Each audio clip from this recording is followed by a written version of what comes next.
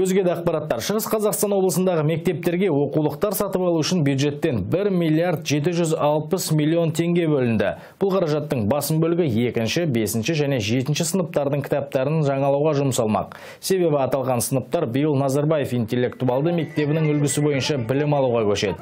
Осыған орай өңірдегі мектептер оқулықтармен толық қамтылады. Бұл туралы облыстық білім басқармасының өкілдері мәлімдеп отыр. Алдағы оқу жылында Шығыс Қазақстандағы мектептерге 184 мыңнан астам оқушы барады. Олардың 21 мыңы білім ұясының табалдырығын алғаш рет аттайды. Облыстағы барлық мектептердің саны 663 болады.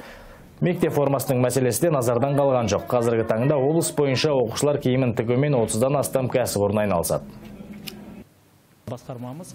Мынау оқулықтарды мектептерге жеткізу мәселесін бақылауда ұстап отыр. Қазіргі күні жалпы айтқанда 85 пайыздай оқулықтар мектептерге жеткізілген. Бұл жұмысты біз жалғастырып жатырмыз. Бірінші қыркүйекке дейін барлық оқулықтар жеткізеді деп ойлаймыз.